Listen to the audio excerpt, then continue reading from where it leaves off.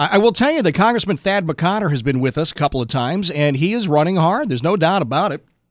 McCotter2012.com is his website. And uh, each and every time that Thad's been here, we get uh, tremendous response, great emails and tweets from people going, hey, you know, I, I kind of like what this guy is saying and uh, hoping that he gets a little more traction. So uh, happy to uh, welcome him here this morning. Congressman, good morning.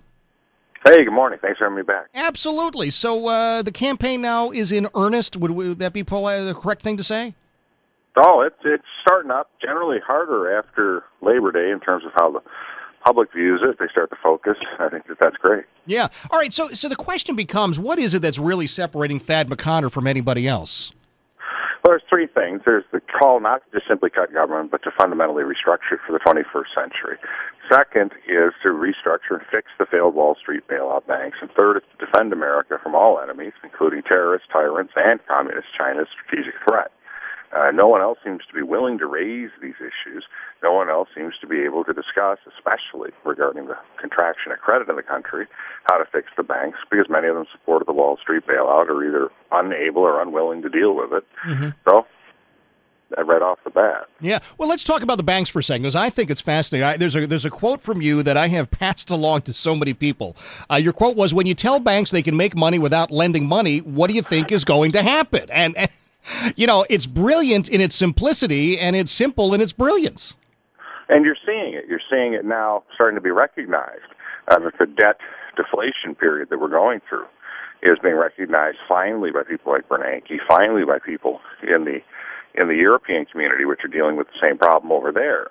Unfortunately, it seems to be a question of the political class outside of that seems to be unaware of what's going on, and they continue to try to treat it with traditional Keynesian or traditional monetary policies, and that's not what we're going through. Right. What about China? Because I, I hear people who are, well, they seem like they're terrified to talk about it. You look at the debt, man, we are a wholly owned subsidiary of China these days.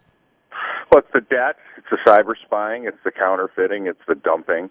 It's the currency manipulation. It's their new aircraft carrier. It's their announcement they're intensifying the quantity and quality of their nuclear stockpiles. Now, the list goes on and on, and yet people seem to be chary about doing this.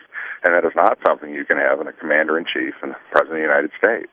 So, what do we do? How, how do you combat the threat of China? I think the first thing to do is to recognize it. The second thing to do is treat all of their trade violations as a comprehensive whole. We're going to have to get our fiscal house in order. So, as you rightly point out, we no longer owe a massive amount of money to a communist nuclear armed dictatorship.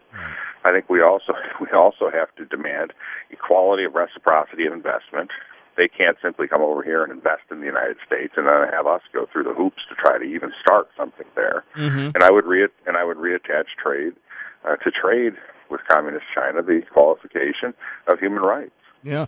Uh, let's talk a little bit about the current occupant of the uh, Oval Office. I mean, this has, has been fascinating as he announced publicly that he was coming to your house, and then when the, the folks who uh, operate your house said, hey, we've got other plans, uh, it was, of course, derided as a terrible, terrible personal affront.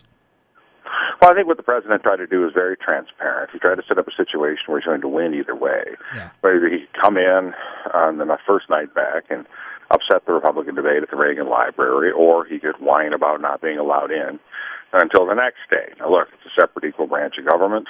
Uh, the president made his request. The speaker set it up the next day after the president's request. I don't know if that's something uh, that gives him grounds to carp.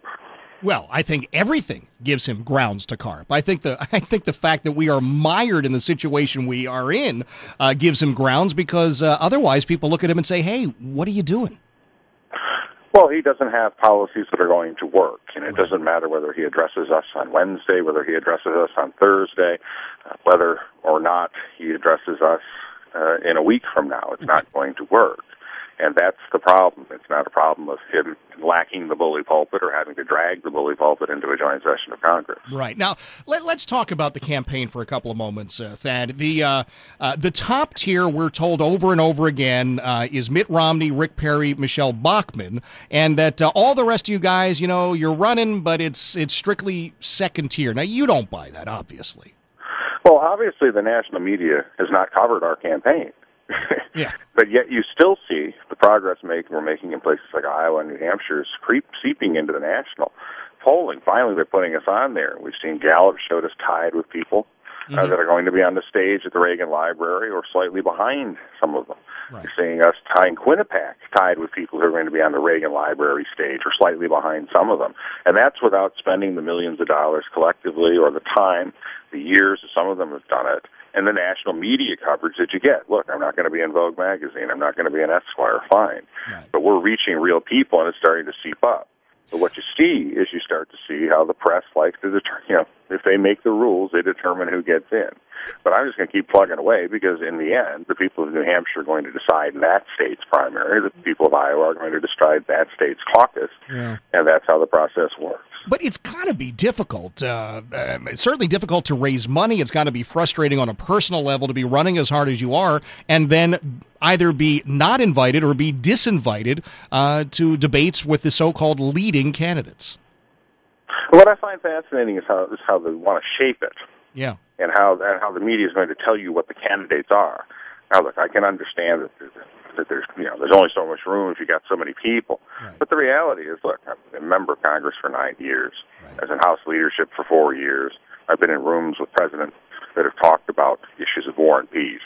Uh, and this is not particularly a fringe candidacy here. Mm-hmm. So to me, it's just a question of eventually I trust the people, and if you trust the American people as a candidate, you have to take your message to them. Yeah. And it seems to be resonating wherever we are.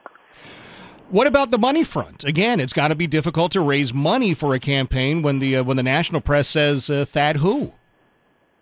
Yeah, but you have to remember, you also have to continue to marshal your resources, and because it's a primary state, New Hampshire, mm-hmm. that's true. If you also have two congressional districts, and they expect you to come to them before you even get to the point where you start running TV ads or things like that, so you right. can get traction in the state. Iowa being a caucus state, it's the same thing. So we've seen people with millions of dollars already leave the race. Are you going to the uh, to the joint session of Congress, or will you have other things to do? Oh, it'll be on the eighth. I'll be in the joint session. Okay, I was just curious. I don't know. I mean, it, it, just, I if I were in your situation, I don't know that I could sit in a chair and listen to this guy uh, waste yet another thirty or forty minutes of my time, knowing that there's actually a pretty good football game on at the same time. well, I'm a Lions guy, so that wouldn't be my concern. All right. Well, Thad McCotter, it's good to have you here. I know you're making your way to uh, New Hampshire next week. I urge people to check out the website, McCotter2012.com, and uh, you'll get out and meet and greet people while you're in New Hampshire, I'd imagine. Absolutely. All right, Congressman. Thanks so much, buddy. Congressman Thad McCotter, he's from uh, Detroit, Michigan and uh, he's running for president. Now, look, he's a serious candidate. Uh, is he considered to be the top tier? I guess it depends on who you ask is in the top tier, right? And as he points out, it is this national media that sort of makes that decision for all of us, whether we want it made or not.